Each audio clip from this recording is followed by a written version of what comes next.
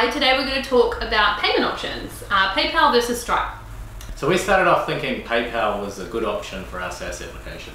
Yeah, so we looked into it and we got a little bit further down the track and realized that in fact PayPal doesn't offer an easy way for our users to subscribe by entering their credit card details and then just going for it and forgetting about it. It was more sort of Go take- off to their yeah. site and then come back and yeah. Yeah, that's right. So we did a little bit of research and we found a product called Stripe.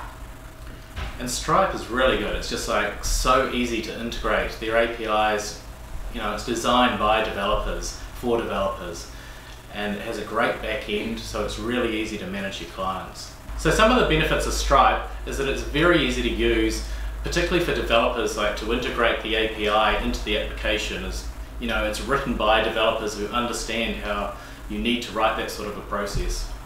Yeah, and it's really easy to manage for people who are not developers.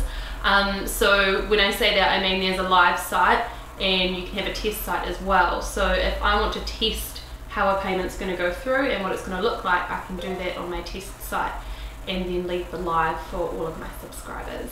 Um, refunds are really easy as well. So we had a case where someone we may have overcharged them, something happened anyway. All they had to do was click a button in Stripe and they were refunded within a couple of days, straight back to their credit card. Yeah, Easy as. nothing like easiness. Yeah, that's right. A couple of things you need to be careful of is just how you integrate it because it's really easy to over integrate and, and end up with too much data going into Stripe. You want to ensure that your database is the source of authority. Yeah, totally. Definitely.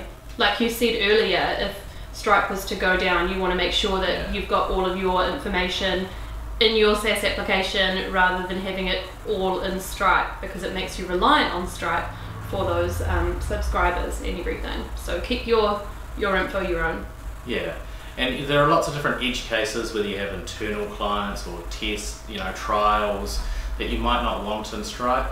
Um, other scenarios are where you might be billing people different amounts and that sort of thing. You don't really want to create a plan for every single type of person. Yeah. So yeah, a few things to think about there. Mhm. Um, but overall, we found Stripe really good. Yeah, and I mean PayPal might be right for you. Everyone is different. It depends on your application. It depends on what you want to use it for. Um, but do your research. It's definitely key. We Mm, found so. yeah. Stripe is good. Yeah, let us know what you think, Yeah. and like and subscribe down below. Whoops.